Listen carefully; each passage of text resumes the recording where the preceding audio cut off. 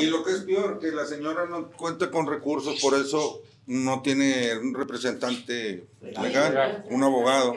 Fue a la Defensoría del Estado. En tiempo de pandemia le dijeron, no, su caso está perdido. No le echaron la mano, no le dieron ni la atención.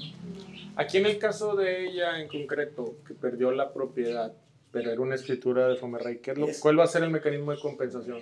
Eh, estamos analizando, como les, les explicábamos a, a, todas las personas, uno de los asuntos es este, quienes ya fueron desalojados. Les pedimos información, una, para, para acreditar este, que tuvieron ese derecho que estuvieron por aquí, eh, y el tema de los juicios, que no nos conocieron, a lo mejor son algunos de los que no nos tocó en esta administración, pero conocerlos y ver cuál sería la, la, la solución.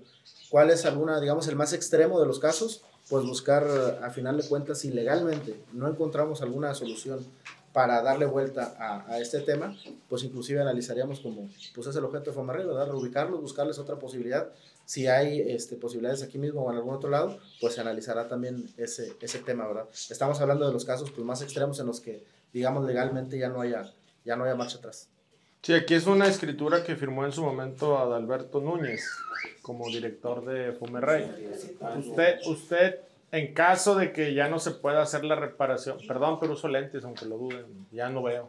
No, en caso de que no se pueda hacer la reparación, eh, Fomerrey tiene la obligación de compensar porque Fomerrey les dio a ustedes un terreno que tenía un problema legal.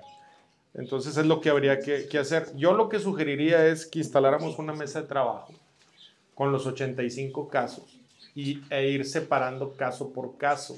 Jonathan es mi abogado. A ver, yo sí le quiero aclarar algo. Nosotros yo diputado, eh, ellos Somerrey, no podemos obligar a nadie a que se defienda.